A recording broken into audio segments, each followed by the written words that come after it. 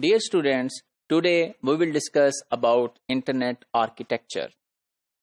We will discuss that for example, you have a computer or laptop which is for example in Lahore, Pakistan and you want to communicate with your friend who is residing in Germany. So what would be the process? How your messages are transferred and transmitted to that particular user which is residing at Germany and what is the architecture that is helping your messages to be transmitted over there and their messages to be transmitted to yourself.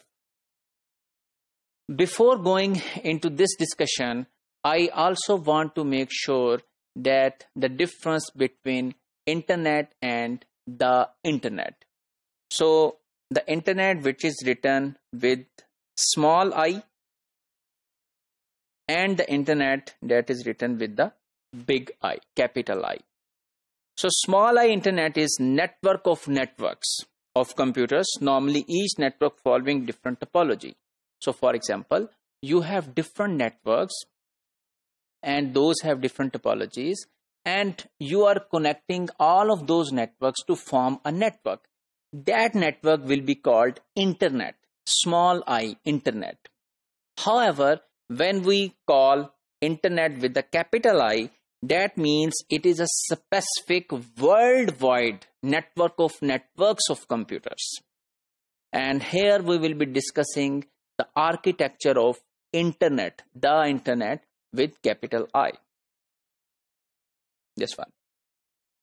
So, internet was started as a research effort in 1960s and the goal was to link variety of networks of the uh, globe, the world and to connect them properly, efficiently, reliably that they can communicate with each other. And this started as a government project by Defense Advanced Research Project Agency that is also known as DARPA. And this shifted from government sponsored project to academic research afterwards.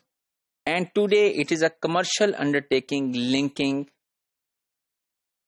personal area networks, local area networks, metropolitan area networks, and wireless area networks involving million and billion of computers around the world. So what is the internet architecture? Individual networks are managed by internet service provider. You might have heard about internet service provider. For example, you are taking services of some ISP like either you are taking services from PTCL in Pakistan. You are taking internet services from Wi-tribe. You are taking services, for example, from some other agency like uh, Nayatel. Or you are taking uh, sometime not the internet, you are taking cable kind of connections from different service providers. So all of such type of service providers are called internet service providers those provide services to individual users. And there is a hierarchy of ISPs in the world to make the proper architecture of the internet. So here is the internet composition. We as a user, we are relying over here. So this is the point where you are and you are connecting with access ISP, which is the service provider, the cable operators are PTCL, Wi-tribe, Nayatel, so all of such service providers. And then those are connected with tier 2 ISPs and then tier 1 ISPs. So we will be going into details of each one by one.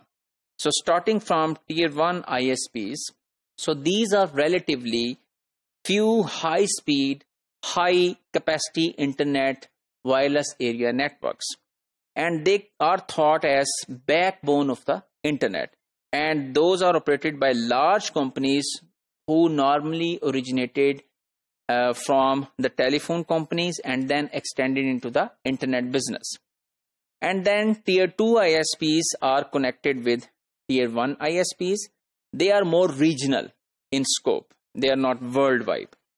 And they are relatively less strong than tier 1 ISP. However, tier 1 and tier 2 ISPs are network of routers forming the core of the internet. And then tier 3 or access ISP are the independent internet, sometimes referred to intranet, operated by a single authority like cable and telephone companies, which we have discussed. And then devices connecting to these ISPs are called the end systems and the host. So the end systems are not only the computers, those could be laptops, telephones, video cameras, automobiles, home appliances, and many more. And this has given an basically uh, uh, research trends in Internet of Things, IoTs, which are very hot topics nowadays, and which are reading uh, basically um, readings uh, from different automobiles, home appliances, video cameras, and then making informed decisions based on the information provided by those different uh, hosts. And then the area within the access point, a group of access points range is often called the hotspot. And you might have also used hotspot of your uh, smartphone sometimes. So if we summarize today's module, we have learned about internet architecture. We have learned the difference between internet with small i and the internet with capital I. We have learned about architecture in tier 1, tier 2 and tier 3 ISPs and the end systems which are connected using those top tier hierarchical architecture of internet service providers, whether they are in tier 1, tier 2, or tier 3 architectures.